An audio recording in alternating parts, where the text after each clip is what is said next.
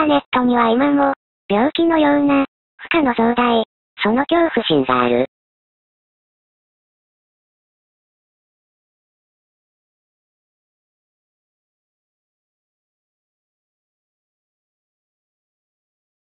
集客力か。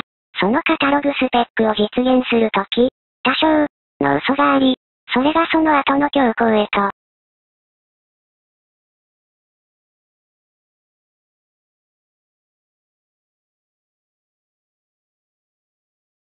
100メートル幅のある道路を車は、何台同時に利用できるだろう？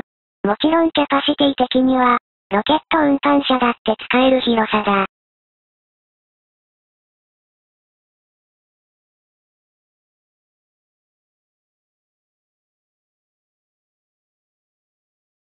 当然その時、100メートル道路の半分は使えないが。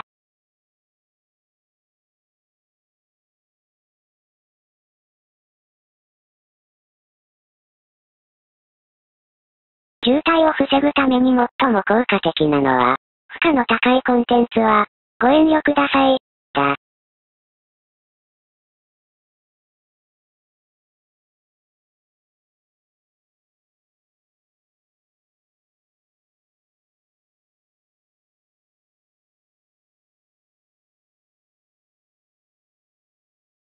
集客力のあるコンテンツはこの時、システムから否定されることになる。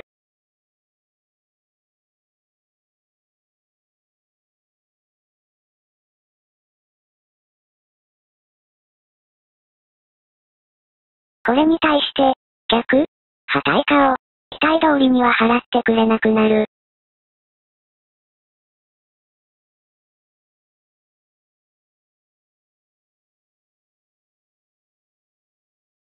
光回線入れているのに。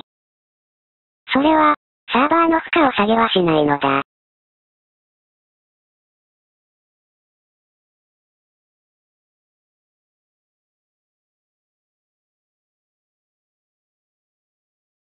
感覚論、常時、期待される性能が発揮される程度の利用者では利益性がなく、